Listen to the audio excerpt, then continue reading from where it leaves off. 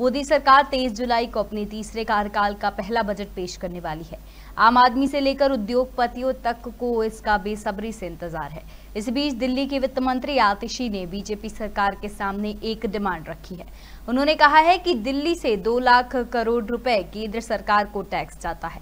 ऐसे में पाँच फ़ीसदी टैक्स वापस दिल्ली को दिया जाना चाहिए। उन्होंने केंद्र सरकार पर एक भी रुपए बजट में नहीं देने का आरोप लगाया है। साथ ही दिल्ली के हक के दस हज़ार करोड़ रुपए मांगे। उन्होंने तर्क किया कि कर्नाटक सरकार को दो लाख करोड़ में से तैतीस हज़ार करोड़ रुपए वापस मिलते हैं, जबकि महाराष्ट्र सरकार को पाँच लाख करोड़ में से चौवन लाख करोड़ रुपए वापस मिलते हैं। वही 2022 तक दिल्ली 325 करोड़ रुपए मिलते थे, जिसे बीते वर्ष से सरकार ने बंद कर दिया है।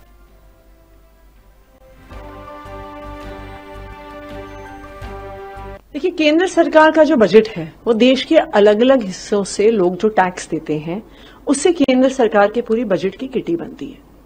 इस टैक्स की कंट्रीब्यूशन में दिल्ली के लोगों का बहुत बड़ा हिस्सा है। दिल्ली के लोग दो लाख करोड़ रुपए से ज़्यादा इनकम टैक्स देते हैं।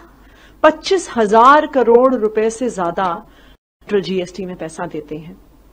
तो जब दिल्ली वाले ढाई लाख करोड़ का टैक्स देते हैं तो दिल्ली वालों हक बनता है कि उसमें से कुछ हिस्सा हमें वापस मिले।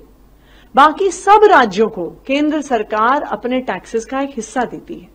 लेकिन दिल्ली जो दो लाख करोड़ रुपए इनकम टैक्स देता है, हमें एक रुपया भी अपने टैक्सेस में से वापस नहीं मिलता है। बॉम्बे भी एक बड़ा कंट्रीब्यूटर है, बॉम्बे पाँच लाख करोड़ इनकम टैक्स देती है। उसके में से महाराष्ट्र की सरकार को पचपन हज़ार करोड़ रुपए शेयर इन टैक्सेस मिलता है।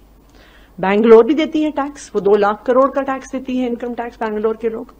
उनकी कर्नाटका सरकार को thirty three thousand crore rupees budget में से शेयर इन टैक्सेस के तौर पे मिलता है। तो जब दिल्ली वाले ढाई लाख करोड़ रुपए कंट्रीब्यूशन कर रहे हैं तो हमें भी अपना हक मिलना चाहिए।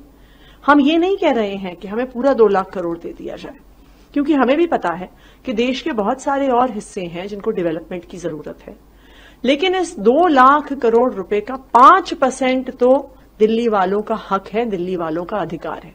इसलिए दिल्ली सरकार की, दिल्ली के लोगों की तरफ़ से डिमांड है कि इस बार दिल्ली में इंफ्रास्ट्रक्चर एक्सपेंसेस के लिए, दिल्ली में अच्छा पावर इंफ्रास्ट्रक्चर है उसे और बेहतर बनाने के लिए अच्छा रोड इंफ्रास्ट्रक्चर है उसे और बेटर बनाने के लिए अच्छा ट्रांसपोर्ट इंफ्रास्ट्रक्चर है उसे और बेहतर बनाने के लिए, इस बार सेंट्रल बजट से दिल्ली को दस हज़ार करोड़ रुपए दिए जाए।